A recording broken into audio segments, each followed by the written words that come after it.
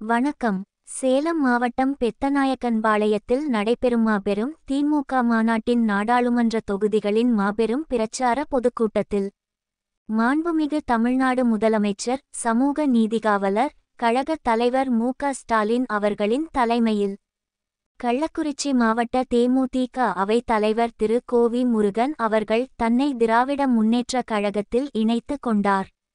கழகத்தில் இணைந்த அவருக்கு மாண்புமிகு தமிழ்நாடு முதலமைச்சர் கழகத் தலைவர் மு க ஸ்டாலின் அவர்கள் தனது நல்வாழ்த்துக்களை தெரிவித்தார்கள். உங்கள் பகுதி செய்திகளை உடனுக்குடன் தெரிந்து கொள்ள அரசியல் சிந்தனை யூடியூப் சேனலை காண தவறாதீர்கள்.